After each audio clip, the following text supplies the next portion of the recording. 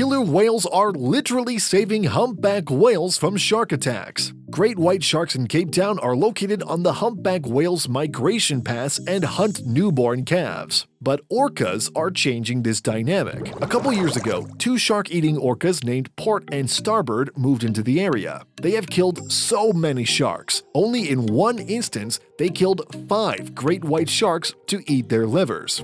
This has decimated the shark population. Now, there are rare sightings of sharks that were abundant in the region, so you may think that the region is safer for humpback whale calves, but I am not so sure.